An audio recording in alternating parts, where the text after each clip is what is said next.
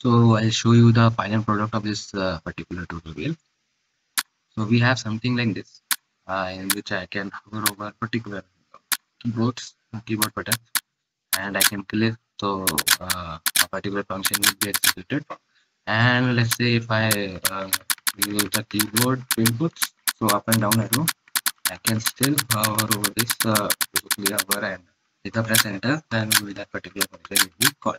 Uh, I was playing NieR Automata the other day, and uh, I felt like the UI was really nice and like quite simplistic, but uh, looks really beautiful.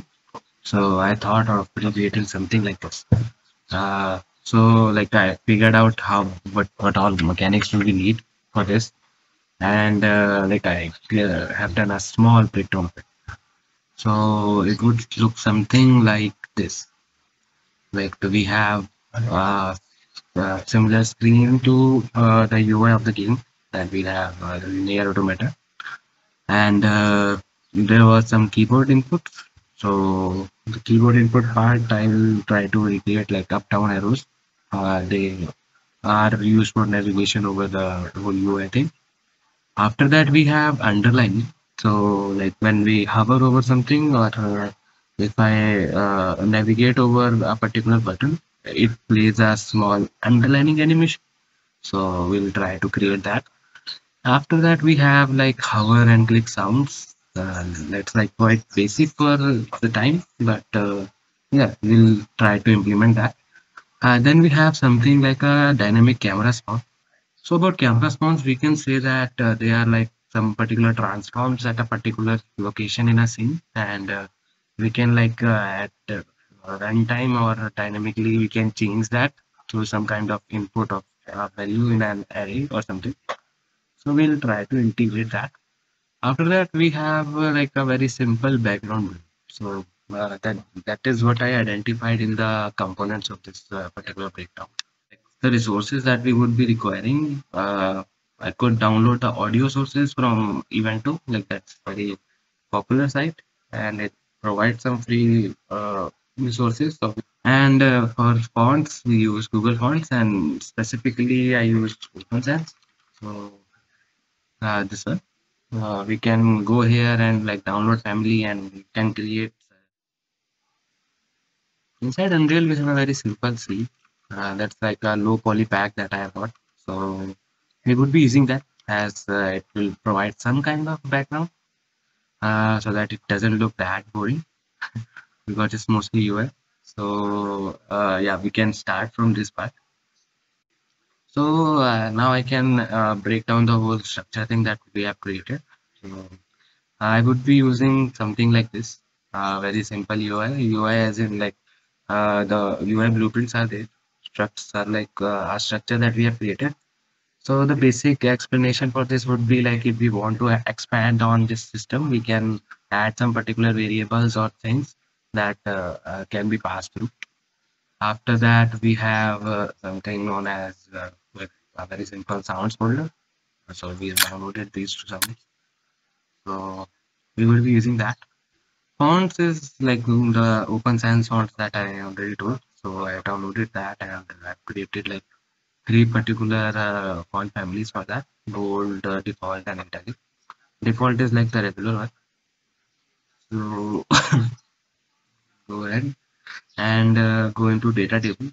So uh, i've created two data tables. Uh, first one is for the rich text i like to use rich text and with some short abbreviations so that uh, we can have a very good looking and some some good properties with that and I would like to continue. Uh, so we would like to use rich text as uh, it is very uh, kind of dynamic and we can pass through different font styles similar to Unity Text Explorer with the HTML text. So uh, this is like uh, what I like to use. And after that, we have created uh, that particular structure that we have made like here. So this particular structure, I have created a, a, data table out of it so that we can parse the values. And uh, like this is not absolutely not necessary, but uh, I like to use it this way. And after that, we have like uh, the blueprint structure. which have like uh, these two are the main things as well as like I just created it for fun uh, so that I can break down the whole thing and uh, BP camera transform would be like the for, for dynamic camera uh, visions we can place it somewhere and uh, uh, then we pass it in an array and uh, then we can pass the index so that uh, we can spawn the camera at that location. So after that we have like game mode. So game mode would be having like mostly uh, this we can place the uh, most important thing so first of all i'm teleporting to that location basically finding that particular index array uh, of uh, the transform actor and uh, i'm teleporting it there and after that i'm making US. so making ui is basically like i'm spawning the particular uh, actor that i'm on and adding it to viewport and setting the game mode to UI. And in teleport to location, I'm very simply finding out all the actors of this particular uh, blueprint and uh, getting the actor transform and setting the player control pawn and uh, player controller to that location. So that's that. The whole backbone of this thing is uh, this UI uh, blueprints. So I have two base blueprints I'll start with the first one. So the first one is like uh, I've used a methodology which I use in Unity. So basically creating a prefab and then instantiating it over a particular thing. So that I just need to change one thing and all the whole system takes uh, takes that into account. So what I've done here is like I have created a size box so that I can control the size of the particular buttons. A canvas so that I can place the whole stuff. A base button so all the uh, all the button structure and button mechanism is inside this a text field which is like uh, your rich text so that I can uh, use the data table that I created for this text and pass the elements or should I say tags inside this and pass that uh, particular field so that it automatically takes that into account. So yep. And then we have these three images. So basically i've uh, created a very simple animation for underlining the whole thing so that uh, when we hover over it the underline animation takes place.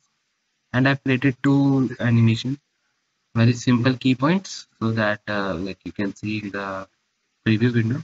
Uh, we have like a very simple animation that plays for sprite up and sprite down would be simply and inside the graph we have some uh, logic inside this. So on sprite hover enter is like uh, we are uh, hovering over it. So i'm enabling the sprite and playing that animation that we created. Uh, similar to that we have the opposite of it where i'm disabling the sprite and playing that animation. And i'm calling these two functions like on focus path. This is basically called when the uh, keyboard focus is there. So when we uh, come onto that event from keyboard uh, this particular function is called. And uh, on hovered is basically when your mouse is hovering over that particular state so uh, that particular thing is calling this uh, on mouse hover enter on sprite hover enter and playing that sound that we have downloaded from the window and uh, like the opposite of that is when we remove the particular keyboard uh, like and uh, similar to that function uh, like the exact opposite of it is like when the mouse is uh, like we remove the hover from that mouse so unhovered is called. And uh, we play that particular function and for the keyboard binders if we remove the focus from that particular element this function is called. So we are doing that hovering over part. So because we are having a separate blueprint for uh, uh, all the functionalities attachment i have uh, uh, called the event dispatcher on this.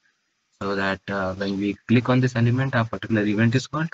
Uh, like a event is a delegate is called and uh, whosoever is subscribed to the delegate they get a notification. So like this part i'll show you in the main blueprint image status is like very sim simply explained is uh, I'm enabling and disabling the particular thing uh, like through visibility. So that if we, we want to disable the particular parts we can do this way. After that we have set text. So basically if I want to set this particular text uh, from some other place I can call this function. So basically that explains all the functions. And here we go with the main thing that I, I was inspired from NieR Automata to, so I uh, basically named it something similar but uh, a bit different.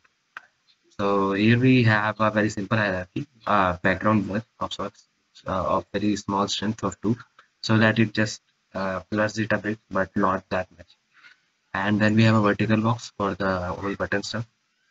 And like mm, let's say some some other text because I saw in NieR Automata that they have some other text.